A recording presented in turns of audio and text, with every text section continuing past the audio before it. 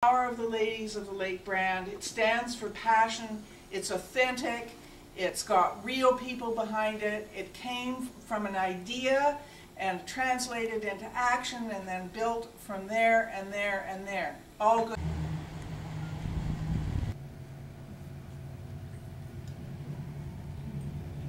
And then large collections, when we are planting our perennials, a lot of people make the mistake of one-itis. So we have one of this, and one of that, and one of this other thing. And one-itis does not attract nature. So when a butterfly is flying over top, they need to see a large swath of color, not one little flower petal. So if, if your budget only allows you to have 12 plants, make them 12 of one kind or make them six and seven of one kind. Like try and, and choose so that you can have a bundle of flowers or a bouquet of flowers as opposed to one itis. You don't want one of each itis. And anybody else who wants to have a grassless front lawn but still wants to assimilate some lawn and have the feeling that you have a green lawn, you can use some of the ground covers like Mother of Thyme or Creeping Speedwell and you can still get that green feeling in between your other plants without having to mow it or water it or um, spray it. And this is one of the plants that is at, um, yes, you have a question? We have, I brought some shade wildflowers with me. The ones I'm showing right now, only some of them can go in the shade. But there is a great shade ground cover for that. This is bee balm or monarda. This is the hummingbird attractor. This is one of the favorites for hummingbirds, and that's the little hummingbird moth again, um, sipping away from there. Bee balm is what they make Earl Grey tea with, and it's a mint. It's from the mint family, so it does run. So when people say I've got flowers to give you, just check and make sure which ones they're giving you. And know that if it is in the mint family, it's going to run and uh, it's going to fill in fast. So just keep those plants in check so that you don't lose, lose all your land to just only one plant. Coreopsis is a perennial that attracts butterflies and it blooms the entire summer. Little yellow daisy. Self seeds very freely. And echinacea, which everyone has heard about, echinacea is now in reds and yellows and purples and pinks and whites, many, many colors, all beneficial. A must-have in any garden. There is the Asclepias blooming with salvia. And if you're attracting hummingbirds, they're attracted to purples, oranges, and reds. And they like tubular shaped flowers. And if you're attracting butterflies, they like uh, whites and yellows and reds and purples, but also they like big open landing pads. So daisies and echinaceas, that's why they're so prominent. And alliums, and that's why you see them always in a butterfly garden. Here's one of our visitors. And there is a lot of native wildflowers for shade. So if you're on the shady side of the, of the lake, or, or is your property is very shady. There's lots of things that you can do to group your perennials together so that you can get your low maintenance, drought tolerant, and still create some texture in your garden. Red Osier or dogwood, a lot of people don't realize that it flowers. Mm -hmm. And first it flowers, it's very fragrant, and then after flower we get this beautiful white berry, and then beautiful red stems all winter. The elderberry is a native shrub that supports our robins, blackbirds, and swallowtail butterflies, flowers, and then fruits.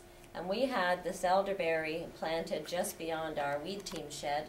And one of the days I was doing my design in our landscape room, right outside of that room was a bubbling rock fountain. So I was sitting there and I'm all by myself. It was a closed day and I'm doing my design.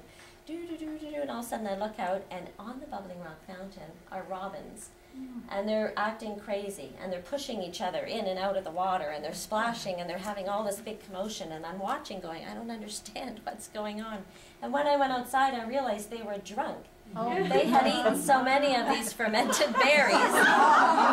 They were drunk and they were pushing themselves off of this. Wall and I looked and here were all these purple blotches and I'm thinking, what have they gotten into? And then I look and just beyond, there they all are, hanging all over the elderberry bushes. And so for that, for that purpose alone, I plant one every chance I get. At everyone's house, I'm like, you really have to have an elderberry. Where do you normally sit? Where do you have your wine? Because this is going to be a good conversation piece right there.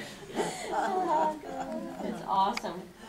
The pagoda dogwood is a great specimen plant for small properties. It's beautiful. These are all native. The eastern redbud. Um, gorgeous hot pink flowers early in the spring, and then later a beautiful, a beautiful specimen shrub. And serviceberry, I can't say enough about serviceberries. Their fall color is gorgeous.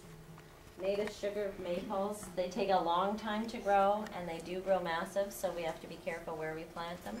But if the town ever comes along and says, can I plant a boulevard tree for you, ask for this one.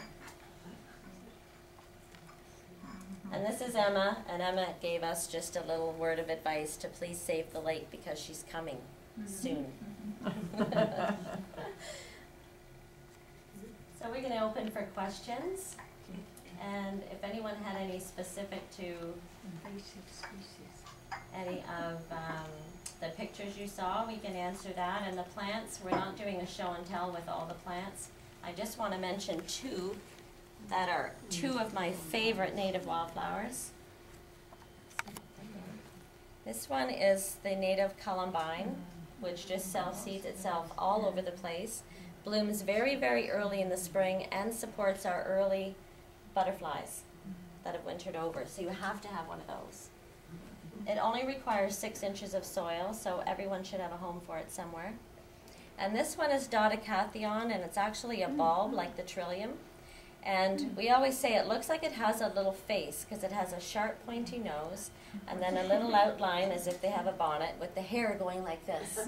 And it goes like that because it's been delivered to us by nature in a convertible. That's what. Sorry, what's that, what's that called again, please? Dodecatheon. Shooting star is the common. Yeah, shooting star. Did you ever think that you'd be coming, I turned this off, so I hope everybody can hear me. Did you ever think you'd be coming to a Ladies of the Lake meeting to hear about drunken robins? Yes. How wonderful. Thank you, Lorraine, for that overview. Absolutely beautiful. I'm gonna Turn that off. Excellent. Going Thank you. down. May I invite Annabel and Lorraine to wherever you're comfortable, if you want to move some chairs around or maybe move more into the Leave, leave, center the leave them a there. That's bit. very nice. We can do that. Just that. put them in front of us. Oh. Yeah, in front of you. Yeah. Mm-hmm. And, excellent, okay, there you go. Sure. Don't want to move that chair while you're about to sit on it.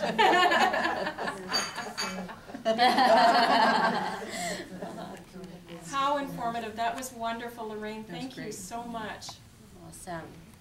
You talked about smells nice. ground cover, and one of the questions, one of the first questions I want to start with, came from one of our board members.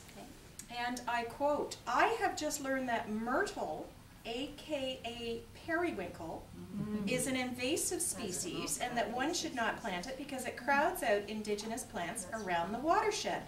So the question is, do I have to go around and pull it all up or can I just monitor it and not let it get out of control? Yes, you can monitor it. We have it on our property as well, planted it um, as a shade ground cover to kind of take us from a, um, a um, how do you say, um, like a natural lawn and then keeping the wild at bay. So it kind of is acting as a border. But I was at a property not too far from us on the Oak Ridge Moraine where a gentleman had just thrown it into the bush and as he weeded it out of his flower garden he just kept throwing it mm. into the bush.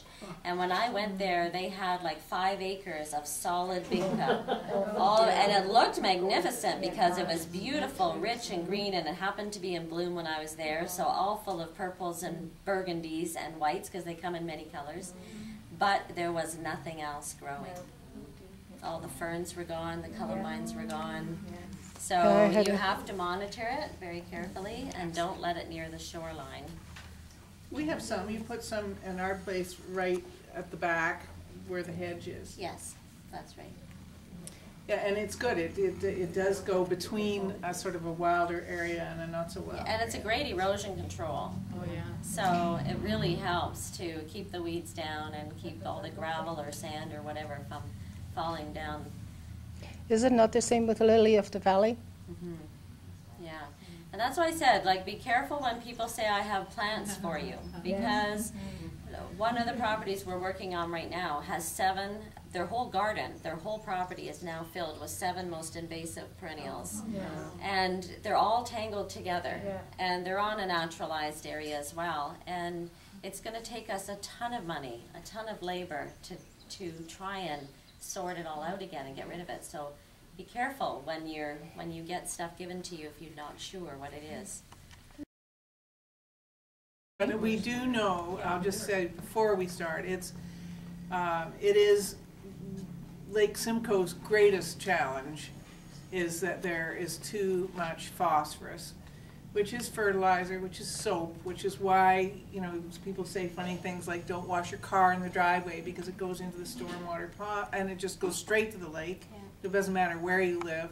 The, the fertilizer that you put on your lawn goes into the lake, it goes down through the soil and leaches down to the lake. And it is what's really, you know, that's the one thing we should Maybe really try all not to stop. do. Yeah, mm-hmm. yeah.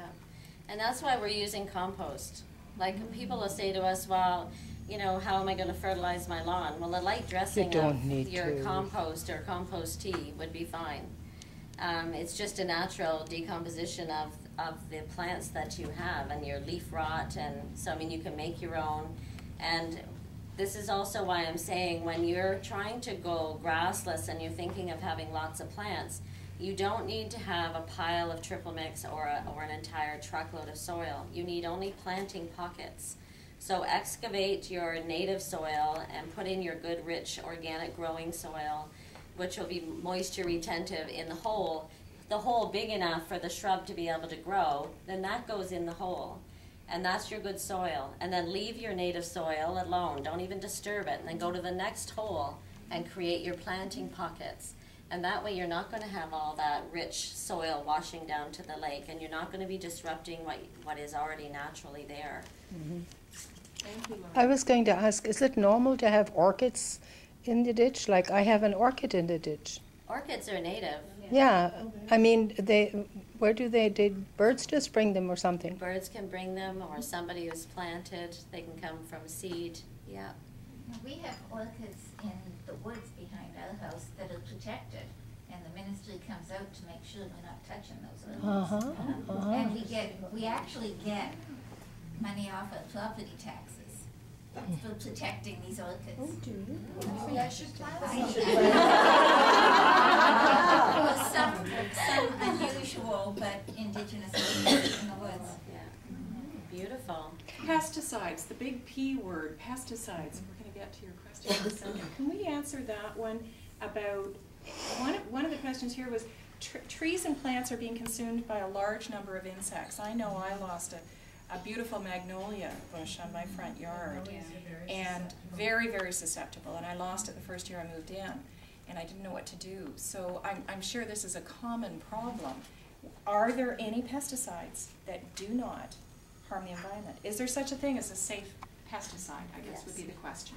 Yes and no. So a pesticide is something that's going to kill the pest. So at any time that we're killing anything, we're harming something, obviously. So um, in, in since 1980, when we started our business, we haven't had a pesticide license or needed one. But we do natural insect control. So when our aphids are all over our roses and we don't know what to do, and we introduce what will eat them. So what eats the um, the aphids is the ladybugs. So there mm-hmm. is a farm that grows bugs and mm-hmm. for natural insect control, and we sell them. And I'm sure lots of places sell them. But you can buy ladybugs and release them in your mm-hmm. garden. And if you grow natural and you have a good percentage of native wildflowers, ground covers, shrubs, and trees in, in your own garden biodiversity or within your neighborhood biodiversity, you will have natural insect control already. What a lot of us do though is we come looking at our prized possession and we think, oh, it has a hole in the leaf. Well, that must mean something's attacking it. Well, if there's a hole all over the entire plant, well, then that, that means we're going to look to, to find a solution to save it. But if there's only one or two, it's okay. It's the good guys are there, the bad guys are there, they're going to eat each other, like it's all going to be a natural life cycle. And praying mantises are, are uh, come in an egg case that looks like, um, like a crusty brown cocoon. And they can hatch between 40 and 400 praying mantises out of that one egg case. A praying mantis eats all the leaf hopping insects like grasshoppers, locusts, uh, beetles, wasps, all kinds of things. But they'll also eat the ladybugs.